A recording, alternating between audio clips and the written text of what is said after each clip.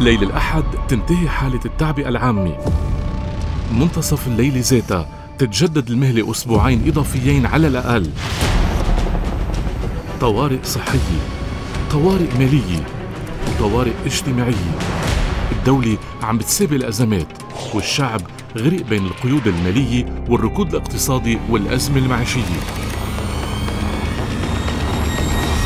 طوارئ بكل شيء وعلى كل شيء.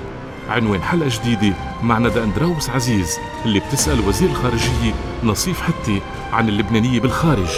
وزير الشؤون الاجتماعية رمزي مشرفية عن العائلات الأكثر فقراً. ووزير الاقتصاد راؤول نعمي عن خطة الإنقاذ. لحد 10 إلى ربع المساء على ال بي سي آي.